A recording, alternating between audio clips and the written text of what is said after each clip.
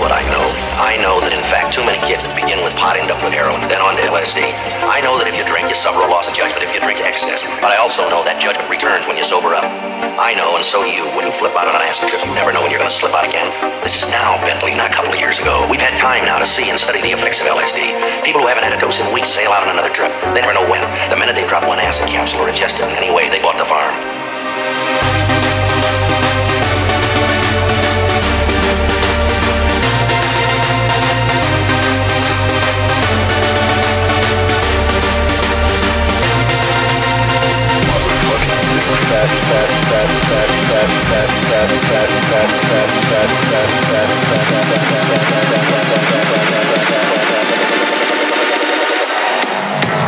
Motherfucking big fat fat fat fat fat fat fat fat fat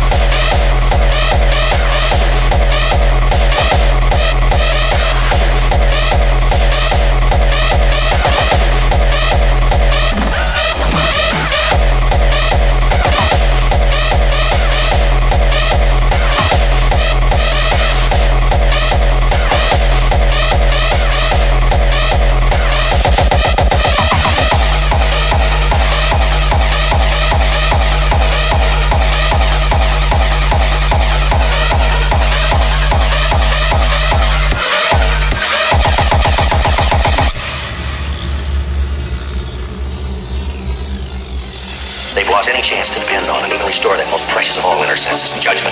And in my way of thinking, without judgment, you might as well be dead. Your brain is, so why not the rest of you? We were talking about marijuana. We still are. Marijuana is the flame, heroin is the fuse, LSD is the bomb. So don't you try to equate liquor with marijuana, mister, not with me. You may sell that jazz to another pothead, but not to somebody who spends most of their time holding some sick kid's head while he vomits and retches sitting on a curbstone at 4 o'clock in the morning. And when his knees get enough starch back in him so he can stand up and empty his